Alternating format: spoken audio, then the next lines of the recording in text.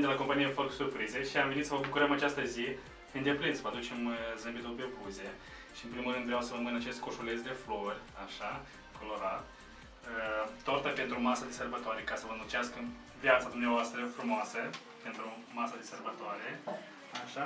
Aici aveți uh, un coș cu fructe, căci aveți nevoie de vitamine la această vârstă frumoasă. Neapărat să le consumați, vă rog frumos.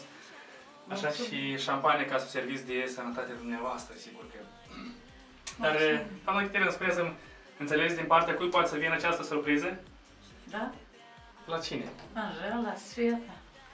Așa, care vă lipsesc, cred că, nepuțelele, da? Ne lipsească, dar ce să facem dacă ne-a despărțit Dumnezeu? Exact, este din partea nepoțelilor Angela și Svetlana.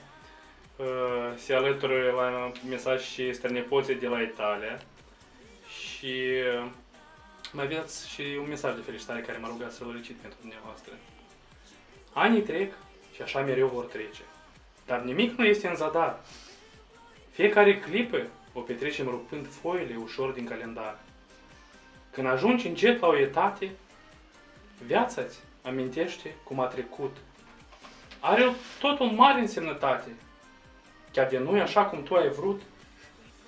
Cea mai mare realizare a vieții sunt copiii buni și iubitori. Bucuria înmulțesc nepoții ce sunt harnici, bravi și silitori.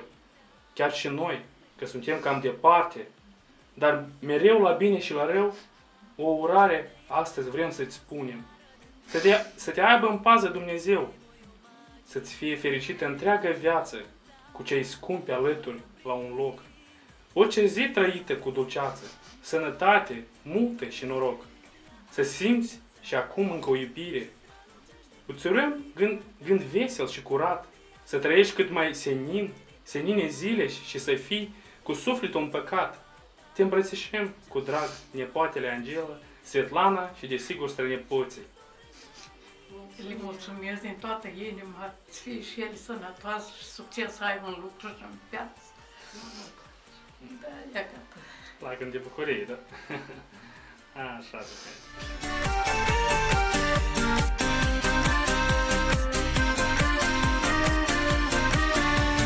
Vino e ziua ta și îți doresc clipe de fericire